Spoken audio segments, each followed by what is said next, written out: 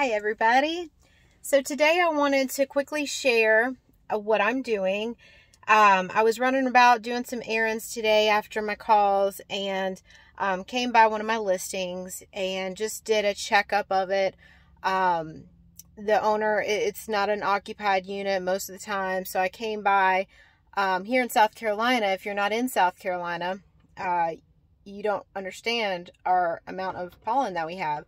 So over the weekend, we had a lot of rain and storms, and then here today and yesterday it's been beautiful, which brings loads of pollen. And um, so I came by, I checked the home, checked on the flowers, made sure everything looked fresh and good, and um, took some paper towels and wipes and wiped down the front door and made sure the wreath looked good because when people come to look at it, I don't want them, their first impression, to walk up and have a face full of pollen.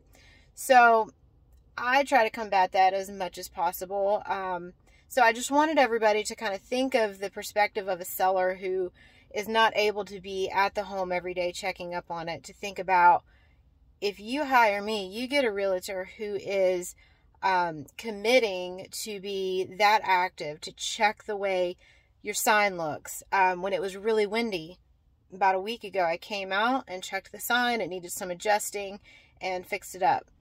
Your home is going to show as if it were my home. Um, that's how how much I'm going to check on it. Make sure it's looking great. Um, there should be no reason uh, your home sells for less if it's selling with me because I'm going to keep that good of an eye on it.